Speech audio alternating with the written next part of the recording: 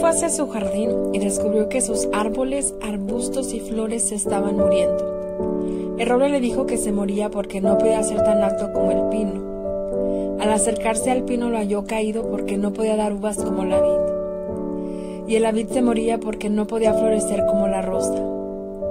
La rosa lloraba porque no podía ser alta y sólida como el roble.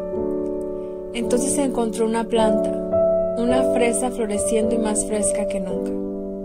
El rey preguntó, ¿cómo es que crece saludable en medio de este jardín musto y sombrío? No lo sé, quizás sea porque siempre supuse cuando me plantaste que querías fresas. Si hubieras querido un roble o una rosa, las hubieras plantado.